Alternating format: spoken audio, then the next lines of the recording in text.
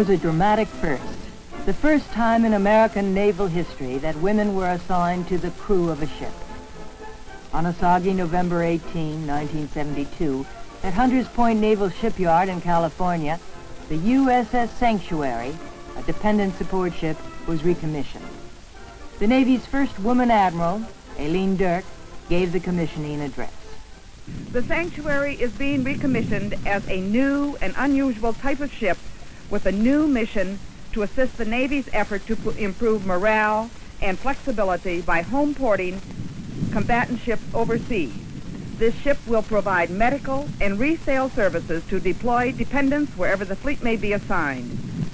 In addition to this forward step, the Sanctuary has also been selected, as you know, as the ship to participate in the pilot program, which will evaluate the utilization of women for shipboard duty.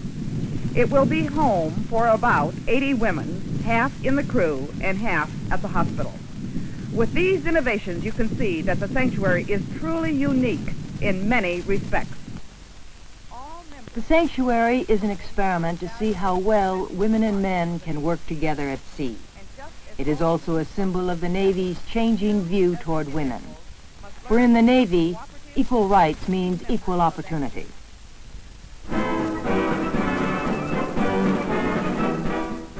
However, women in the Navy are not new. Dating back to World War I, Navy women have had a long history of proud service.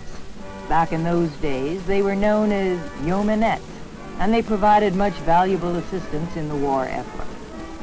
Joy Hancock, whose Navy career would span four decades, was one of those who volunteered. Our Secretary of the Navy at that time was Josephus Daniels. Uh, he didn't cut the corners, but he found a very easy and practical way, generally, to do things. And uh, when we found that uh, civil service couldn't supply uh, the number of women they wanted in the clerical ratings, uh, he said, well, is there any reason why they shouldn't be sworn into the uh, Naval Reserve? And uh, his aides looked up the law, the legislation, and much to their surprise, they found that someone had neglected to write in the word male into the legislation. So Mr. Daniels said, all right, bring in the women, and that was it.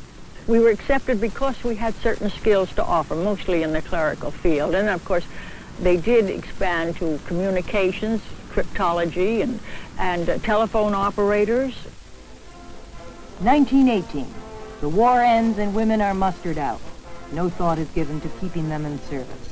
Not until 20 years later does that thought reappear.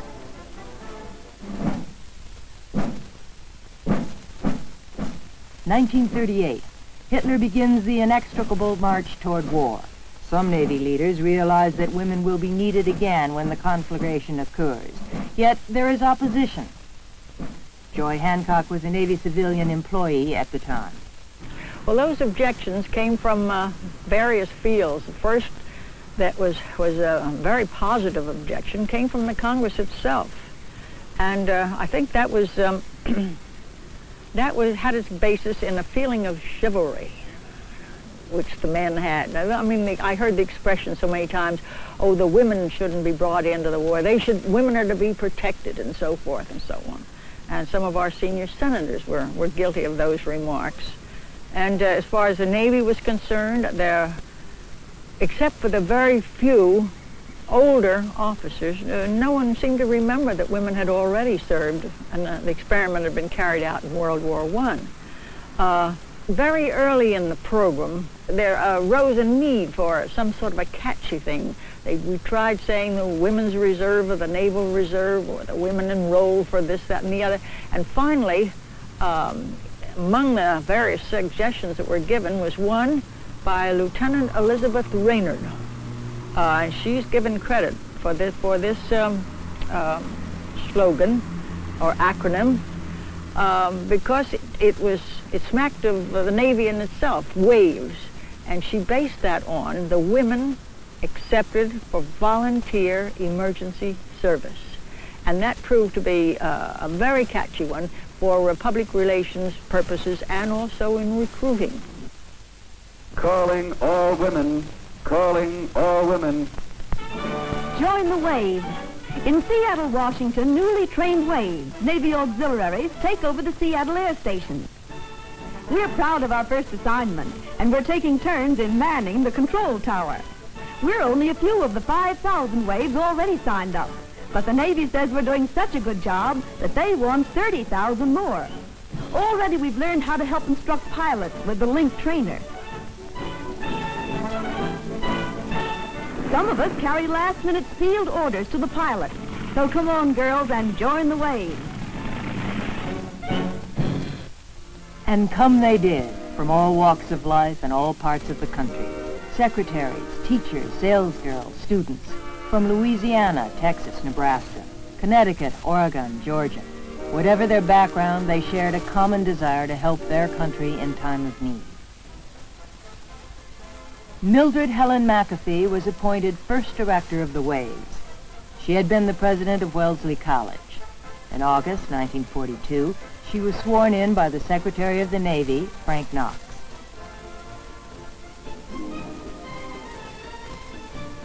Practically overnight, two major training centers were established for women. One for officers at Smith College in Northampton, Massachusetts, the other for enlisted waves at Hunter College, New York City. This training facility was nicknamed the SS Hunter. By the end of the first year, 27,000 women were in Navy uniforms, and more were coming every day.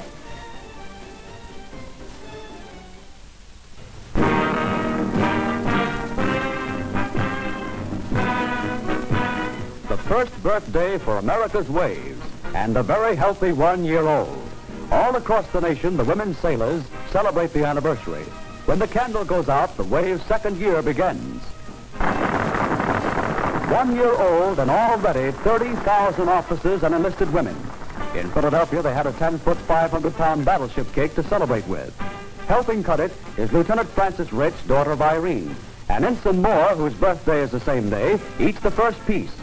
Commandant of the Waves, Lieutenant Commander McAfee, speaks for the Navy to the women of America.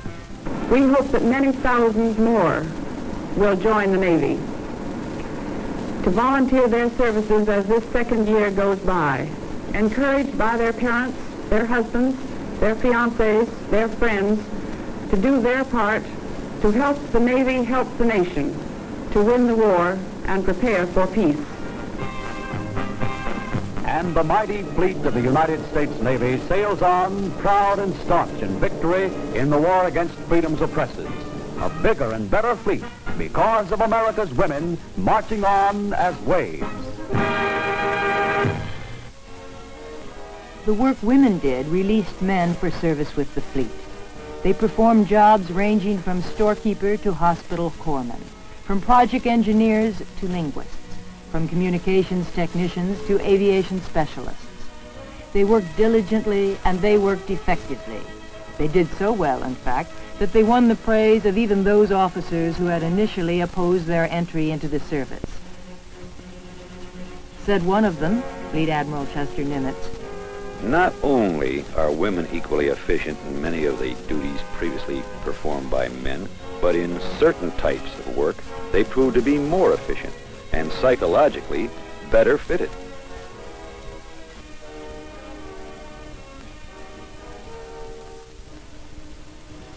By the end of the war, more than 86,000 Navy women had served with pride.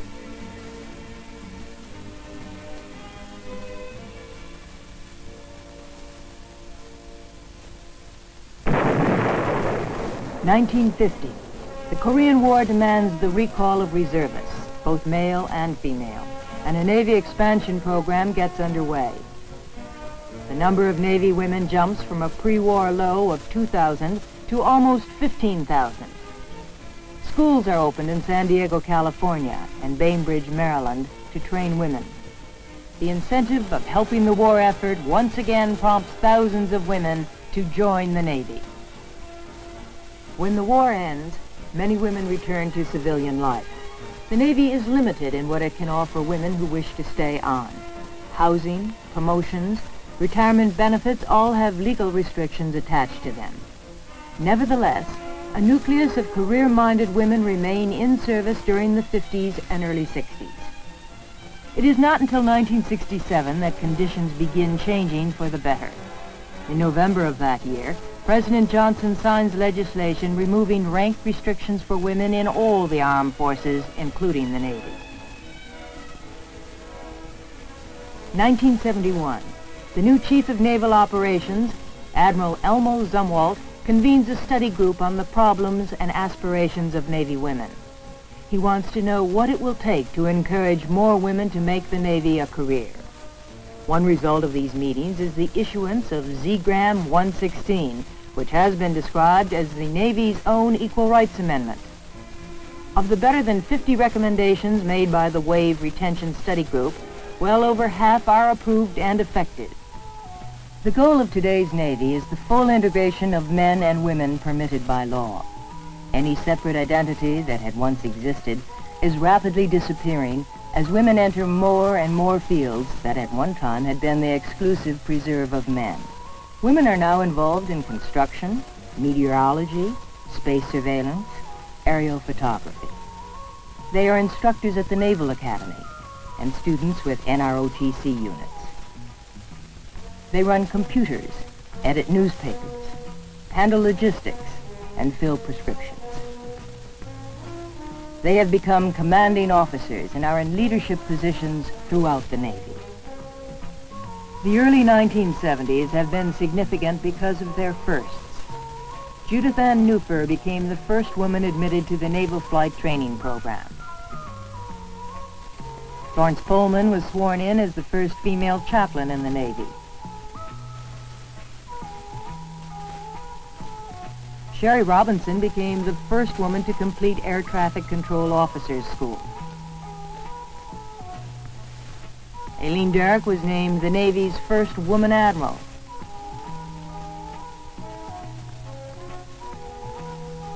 Admiral Duerk's promotion ceremony contained another first.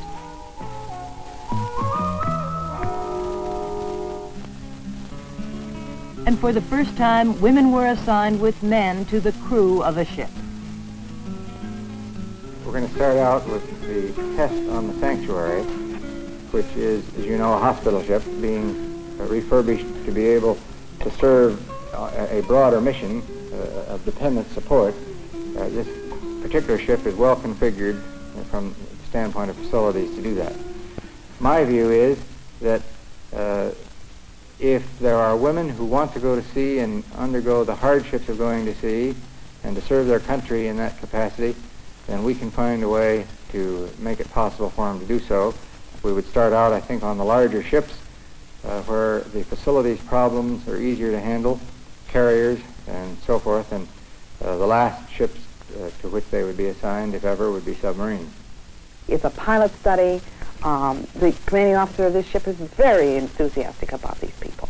And uh, this sort of thing, I hope, will gain a lot of publicity. And I hope that, he's sure, he knows he's going to have problems there are going to be some problems, just like there would be in a general society. You're going to have a few problems. But overall, he's very confident that this is going to be a most successful and a very happy crew. I think that the crew in this ship would like it to work. I have a feeling that they're very positive about it. Uh, I also have the feeling that they think it's, uh, it's a good idea and it has a lot of merit. They're going to be surrounded by men all the time. There's going to be like 60 women and three or 400 men. You have to know how to get along with them. I think that that is one of the main problems where there's just so many guys around and they're looking at you to see if you can do the job. Uh, there's quite a few that don't like it, and there's quite a few that do, you know, and quite a few, you know, might well let it try it out. More or less, people more or less like me, you know, they want to see, you know, see if it works out or not. I don't know, you, you can't tell a woman to work the way you can tell a man to. Because actually, they can't work as hard as a man. I've got uh, two or three of in my division that uh, so far have outworked any, any man that I have in my division. As long as you do what you're told and do it right, I can't see why they should complain. I'm proud to be in the Navy, and I don't care who's, who's working beside me, a woman or a man. Just as long as the job gets done and everybody knows what they're doing. That's, that's fantastic. Women in today's Navy perform many valuable and necessary functions. There is no area of Navy life they cannot participate in if qualified. And they are qualified. Women in today's Navy come into the service better educated than ever before. and they adjust to Navy life more easily as a result. For enlisted women, indoctrination takes place at the Recruit Training Command, Orlando, Florida. Boot camp. It's eight weeks of hard work, classes, physical education, and of course that one staple of a good military education, drilling.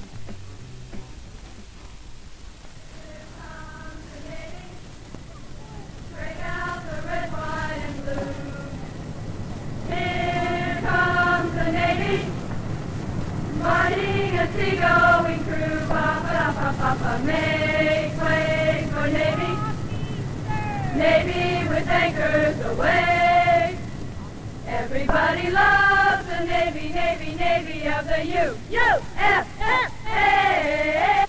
Enlisted from the 50 states. Together, we become shipmates. Together, we're gonna make it great. And we'll keep trucking left, right, right, left. Three oh seven two. Three oh seven two. Three oh. For we are in the Navy. Peacetime recruit, recruit. Marching together. We're never out of step. We're in a Navy suit we always happy.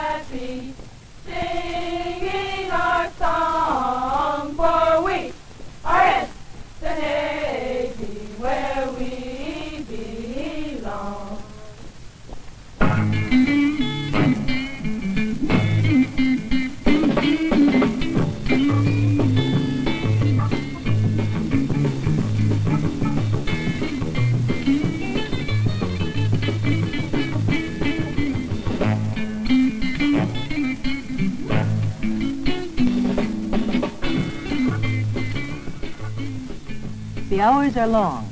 Reveille sounds at 5 a.m., taps well past 9 p.m., and the training is hard. There are no two ways about it. Why do they do it? Well, strangely enough, women's liberation has little appeal to these young ladies. Most Navy women feel liberated before they join. If anything, what they seek is the structuring Navy discipline gives to their lives.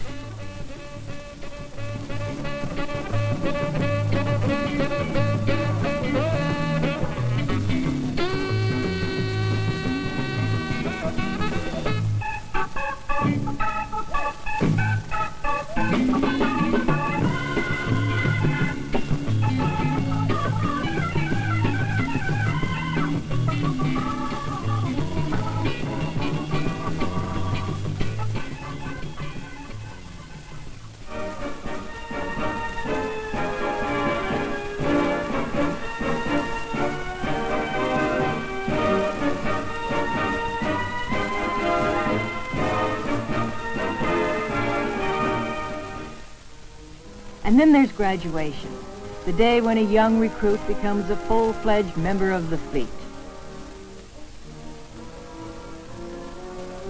The last pass in review when her friends and family can share in her achievement.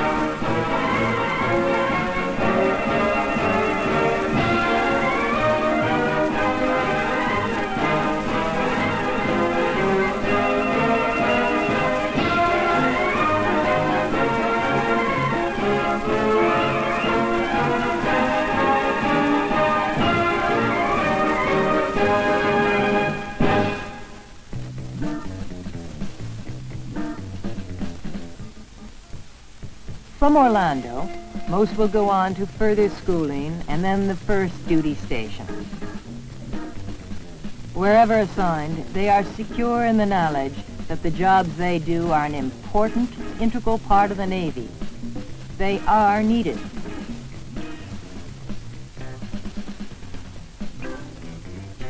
And that first assignment could take them anywhere in the world where the Navy has a base. From Yokosuka in Japan to Athens, Greece. From Holy Loch, Scotland to Washington, D.C. Sue Krogan is a Navy lawyer. She entered the Navy right after law school. Why did I join the Navy? Well, mainly because I wanted to do something different. I didn't want to join a law firm. I looked around for, oh, at any job that would be would be a little different. And the Navy was my first choice, and I was lucky enough to get accepted. Well, in our office, we uh, mainly do research and write opinions in the form of letters, memoranda to the secretary, to CNO's office, and we answer inquiries from retirees, Navy people, uh, congressmen. I think the Navy has fulfilled most of my expectations. It's interesting, it's exciting. There's a camaraderie in the Navy that you wouldn't have on the outside, except in maybe a smaller law firm, and that I like. I heard he sang a good song. I heard he had a style. And so I came to see him to listen for a while. Evangeline Bailey is assigned to the U.S. Navy Band. She is the first female musician in Navy history. In college, I was a voice major and a piano minor. Uh, I participated in the college opera workshop and things like that, and my family had a religious singing group. I've been singing all the time. It's nothing new to me. There seem to be certain fears that men have about women coming into any field that they've had along. I think they feel their masculinity is threatened. In the band, I think the guys realized that I was there just to do my job the best that I could, and they took me for what I was. The band teaches you the discipline you need for just about anything in life. Uh, I can't think of any experience you could have in life that you won't have in the band.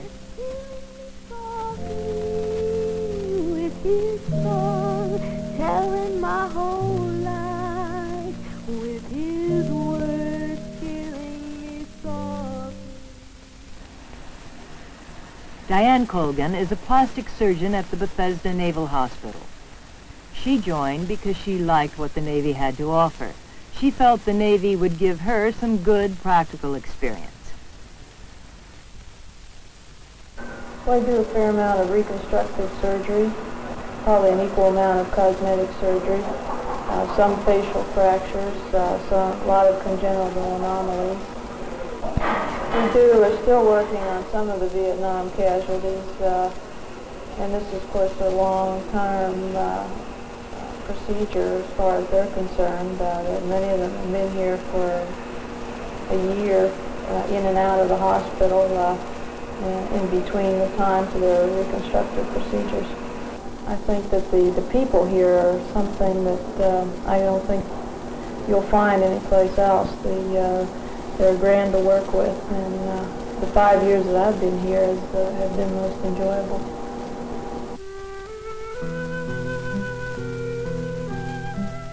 Marianne Gardner is one of more than 2,600 Navy nurses who serve worldwide.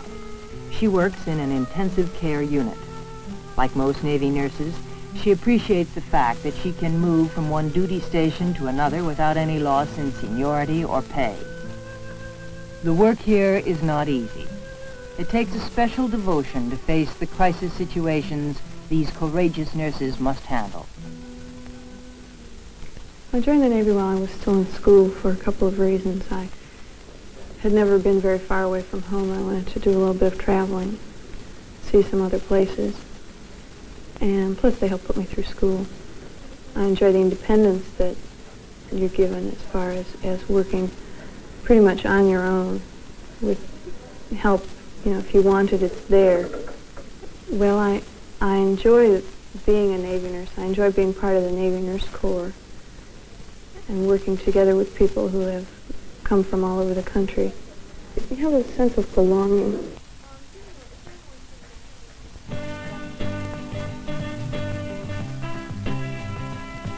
Without doubt, the Navy's most ambitious plans for women have been in the flight training program. Six young women have been selected to pave the way for future women in naval aviation. They are expected to perform the same as men. They go through the same classes, same drills, same exercises, and they fly the same planes. On May 10, 1973, Lieutenant Judith Ann Neuffer became the first woman to solo in a Navy aircraft when she took off in a T-34 from the Naval Air Station, Saufley Field, Florida.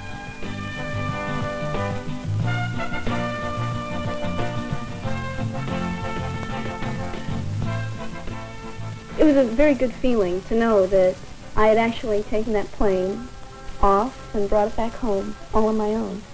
It was definitely a feeling of, of satisfaction, a feeling of having gotten over one hurdle. And I, I think it helped to uh, sort of build a little confidence too that, that we are in the program, we we can fly the plane, and, and we are able to cope with with the, the pressures and the the rigorous uh, training that, that we're involved in. Our Navy's strength lies in the fact that individuals are given the chance to show what they can do. Black or white, male or female, the opportunity is there. These women prove it. The ladies who wear the navy blue.